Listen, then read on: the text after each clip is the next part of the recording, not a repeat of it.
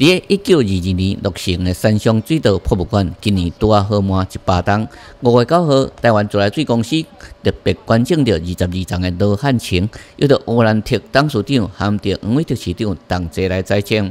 黄伟德市长讲，园区现做是也有四十张的百年罗汉青，伊期望今仔日所种的这罗汉青也会当画上一百档，延续前人种树，后人乘凉。请植树。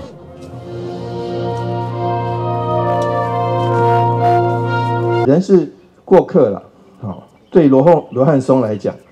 今天二十二株树苗，等到它长大成人的时候，我们可能都不在这边，好，但是很重要的是，这个这个美景，这个建设会留下来，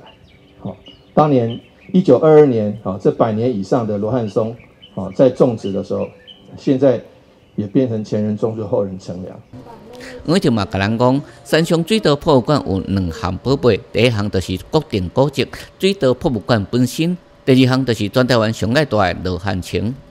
三湘水稻博物馆的两大宝，一宝是水稻博物馆它本身的这个啊国定古迹里面的，包括建筑、包括器材、包括整个历史构建都非常完整。第二个宝就是我们的罗汉松群，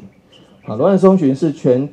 台湾最大的，啊。也是最相当完整的平地罗汉松群，这个每一株罗汉松都是价值不菲。要祝福今天，哦，下一个一百年，再一个一百年都能够更顺利。今天摘下去的罗汉松树种啊，就是一个一个证人，一个名证。值得我赞的赞。